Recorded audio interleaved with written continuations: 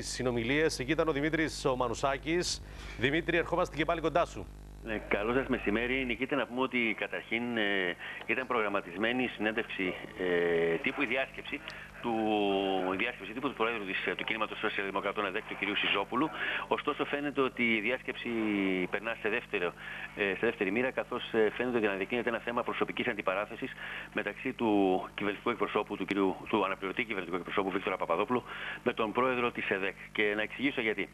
Ε, ο κ. Σιζόπουλος, ε, κάνοντας ε, την αρχική του τοποθέτηση στην διάσκεψη τύπου, είπε ότι ε, ανέφερε χαρακτηριστικά ότι ε, είναι απόλυτα βέβαιος ότι ζούμε δύσκολες στιγμές σε σχέση με την πορεία του μεγάλου εθνικού μας θέματος.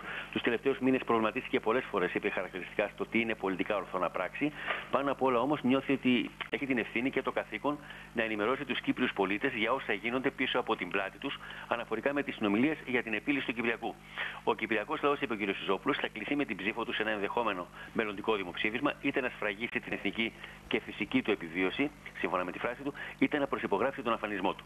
Και επειδή, ανέφερε ο κ. Σιζόπουλος, έχει προκληθεί από τον αναπληρωτή κυβερνητικό εκπρόσωπο με τις δηλώσεις του στις 12 Φεβρουαρίου του 2016 ότι οι ισχυρισμοί Σιζόπουλου για συγκεκριμένες πρόνοιες στο τραπέζι των συνομιλιών ουδέμια σχέση έχουν με την πραγματικότητα, ο κ. Σιζόπουλος ε, δήλωσε ότι αναλαμβάνει πλήρως την πολιτική ευθύνη για αυτό που ακολουθεί.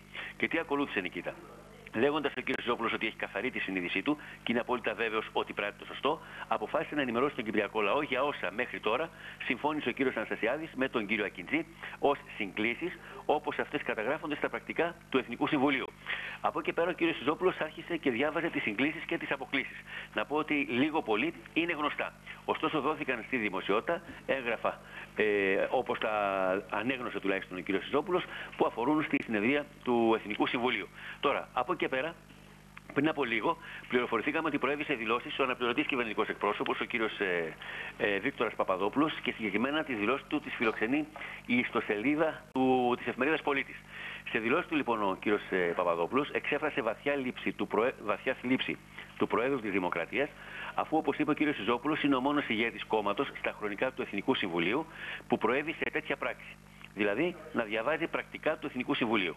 Ούτε ο Μακάριος, ούτε ο Βασιλείου, ούτε ο Κληρίδης, ούτε ο Κυπριανού, ούτε ο Χριστόφιας, ούτε ο Παπαδόπουλος έκαναν κάτι τέτοιο σε προεκλογική περίοδο, ανέφερε ο αναπληρωτής κυβερνητικός εκπρόσωπος, χαρακτηρίζοντα την ενέργεια του Προέδρου του Κίνηματο Σοσιαλδημοκρατών ε, ΕΔΕΚ, του κυρίου ε, Σιζόπουλου, ως κατακριτέα. Παράλληλα, είπε ότι ο Πρόεδρος της ΕΔΕΚ δεν είπε τα πράγματα ως ακριβώς έχουν. Ακόμη, ο κύριος Παπαδόπουλος υποστήριξε πως ο Μαρίνο Ζόπουλος προέβησε αυτή την κίνηση, διότι γνωρίζει πως η κυβέρνηση δεν μπορεί να δώσει στη δημοσιότητα το περιεχόμενο των πρακτικών για να καταλάβει ο κόσμος την αλήθεια, προσθέτοντας ότι το έπραξε εκ του ασφαλούς. Τέλος, ο αναπληρωτής κυβερνητικός εκπρόσωπος υποστήριξε ότι ο κ. Ζόπουλος δίνει τροφή στην τουρκική πλευρά, αφού βγαίνει προς τα έξω η εντύπωση πως δεν υπάρχει σοβαρότητα στην ελληνοκυπριακή πλευρά, καθώς δίδονται στη δημοσιότητα απόρριτα έγγραφα. Τώρα, Νικήτα, τα συμπεράσματα ε, σίγουρα ε, είναι όλων όλων μας, καθώς φαίνεται ότι ένα θέμα μιας απλής συνέντευξης τύπου εξελίσσεται σε μείζον θέμα για την πολιτική επικαιρότητα με, τις, ε, ε, με όλα αυτά τα οποία ανέγνωσε ο κύριος Σιζόπουλο και την απάντηση που είχε από τον αναπληρωτή κυβερνητικό εκπρόσωπο. Θα τα σχολιάσει και ο πρόεδρος του Δυσίου, ο κύριος Νεοφίτου, που δεν είναι εδώ μαζί μας και θα πάμε κοντά τους σε ένα λεπτό αφού δούμε